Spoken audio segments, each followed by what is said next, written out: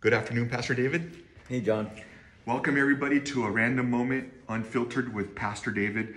You know, as I uh, want to welcome you guys who are, are tuning in, there, there's a class that you have currently, Pastor, with uh, with a group of men on sun, every other Sunday. It's our mentoring class. And, mm-hmm. you know, somebody brought up a question last Sunday in our class, and it's been resonating with me. And it really comes down to the stance on God's grace. And somebody in our class brought up, can somebody lose their salvation? So we know that there's an ongoing debate on, yes, you can lose your salvation. On the other hand, it's once saved, always saved. So we, we have these two different types of, of thinking, but it really centers on their view on God's grace. Uh, is there a concern on one side or on the other that it could be focused so much on this topic that is it really asking how much we can get away with on God's grace? You know, sometimes I've heard that question over the years, and the way it's been posed has given to me a sense that, or perhaps a suspicion, that the person is not really so much theologically interested in the possibility of uh, losing your salvation so much as what is the length of our our abilities to go before we somehow step into the realm of no longer saved. And almost, and not always, of course. I mean, I think this. I think this to be a, a worthy uh, theological question. You know, but sometimes it, it, it I have received. I'll say it this way. Sometimes I've received the impression from the one asking uh, that the real question was is how much sin can I commit and still go to heaven? Sometimes it comes from experience that they may have with fellow believers or professing believers where they see them doing so many things and you know it turns out that um, there's no fruit of salvation in them though they claim themselves to be christians and so they wonder has that person crossed some kind of line? Is that person, at one time, was that person a believer and did they cross a line to now into unbelief? And then there are others who seem to be asking, uh, uh, how far can I go in this grace thing so that um, I can still go to heaven, but live in any way that I really want to here on earth? And so it, it depends on the sincerity of the questioner and the theological uh, basis of their of their question, John, I'd say. And so uh, I remember my own pastor, Chuck Smith, how he said, to those who are um, very in their in their walks with God, taking a lot of chances, he says, I'll preach a stronger message of the need for repentance and to mm-hmm. walk in holiness. But to the ones who are timid, the ones who are always questioning, their relationship with God, which there are many people who do that, Chuck said, I'll, I'll, I'll give to them healthy doses of the grace and love of God. So to the proud, he would be preaching humility, and to the fearful, he'd be preaching, mm-hmm. you know, uh, for them to have uh, a, comfort in the in the love and, and the wonderful grace of God. And so,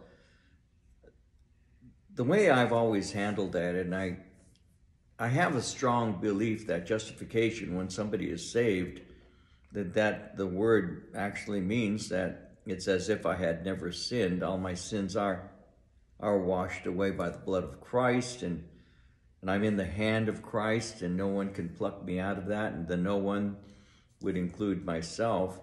I do believe that there is a um, a comfort that I can have in knowing the keeping of the keeping grace of God. And yet at the same time, that is not permission to continue in sin. Like Paul would ask the Romans, What shall we continue in sin that grace may abound? God forbid. How shall I, who have been, you know, set free or saved, how can I go back to a life of sin? So in Romans chapter 5 and chapter 6, he actually deals with that kind of question. Well, God forbid that we should continue in sin so that grace may abound. Do we continue in sin? No.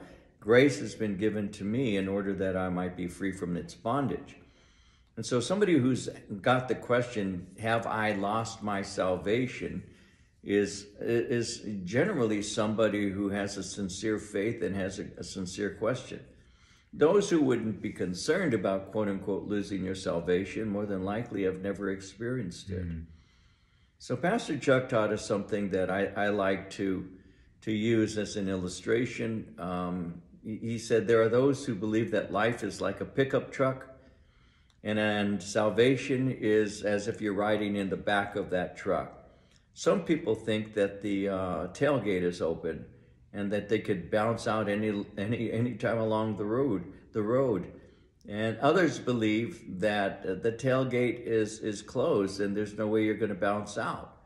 So some believe you can fall out and some believe that you won't fall out. He said, "What's the answer to that?" He said, "Stay close to the cab. you know, stay close to the driver." And that's how I look at that particular subject. I, I believe that if I'm walking with the Lord, and it's not an act of works, by the way, because if it's something I can do to save myself, then I obviously am trusting in myself for salvation. You know, grace would be speaking about the fact that I don't have the capacity, ability to um, to save myself, and so if I'm thinking that I'm going to keep myself in God's grace by my works and efforts, that that that produces a works salvation mentality. But on the other hand, I'm not going to take God's grace for granted and and just continue sinning as if you know I'd never tasted of the grace of God. So what's the answer? Develop relationship with Jesus Christ.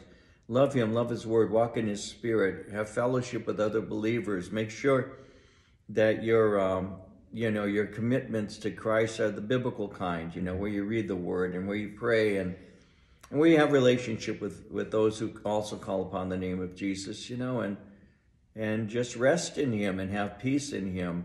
You know, stay close to the cab, stay close to the driver, and you won't have any questions about falling out of the truck.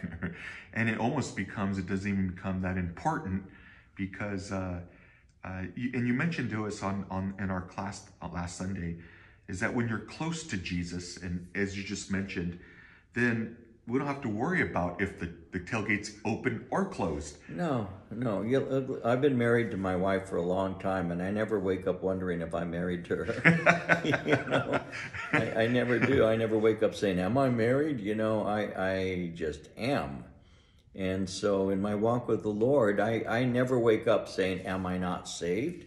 Why? Because I've stayed close to the Lord, you know, uh, much more now than ever mm-hmm. before. But that should be true in every believer that every day you draw closer to Him, and every day you're much more. Uh, much more uh, in tune with him, etc. You know, this upcoming December, you know, in in a little in a little less than a month, I, I celebrate 51 years, John, 51 years of uh, since my salvation, and and there have been times in the beginning where I wondered because I had based my faith on my experience of salvation, which the day I got saved was such an exhilarating moment to sense, almost physically sense, the release of those burdens. I that sense of of my sin rolling off of my shoulders. It was a very real and perceptible kind of thing you know, and then two weeks, three weeks later, I'm not filled with Holy mm. Ghost goosebumps and all of that enthusiasm.